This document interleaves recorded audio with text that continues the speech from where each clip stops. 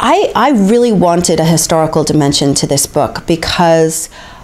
one of the things I wanted to be very clear about is how important the particularities of culture now are to, or at any time, are to producing the behavior of people who live in that culture. That um, so much of the way we behave is ascribable to expectations, how everybody else behaves, because most of us are enormously governed by convention and cultural norms and what we see around us. And in the realm of altruism, I thought this was particularly important because there is a sense which has been around in our culture for a long time that humans are naturally selfish and therefore they will naturally behave in certain ways. And the word naturally, of course, is very important. I wanted to trace a history of suspicion towards certain kinds of altruism to show that, in fact, this assumption that people are selfish and that people who are seem to be unselfish must be in some way mentally ill crazy, hypocritical, twisted, strange in some fashion, is a historical development that has not always existed. Um, it came to pass through. I mean, I trace some some threads through uh, intellectual culture, through popular culture, through literature, but those are only three of, I'm sure, the many many threads that contributed to this sus suspicion, which exists now in in a form that's almost unconscious. Um,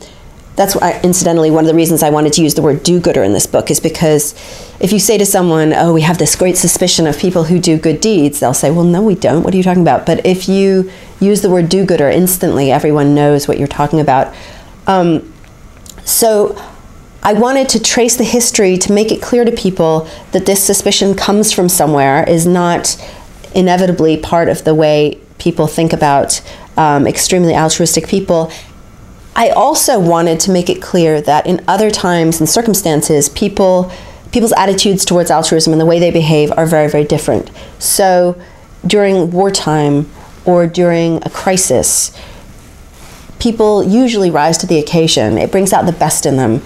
And I think that one of the reasons that do gooders seem so strange to us now is that it's been a very long time in this country since we had conscription for a war that was widely regarded as a just good war, namely the Second World War. Um, there's very few people left alive who had the experience of it being ordinary and normal and expected of everyone to sacrifice significantly your father, your husband, your brother for the sake of this larger cause. And I think because that experience of the normalcy of sacrifice, of the ordinariness of being expected to abandon your family for the sake of something larger, because that is such a distant experience for us now, that's one of the reasons that people who do that anyway, who do who are willing to hold their family in the balance with the needs of strangers seem so odd to us now.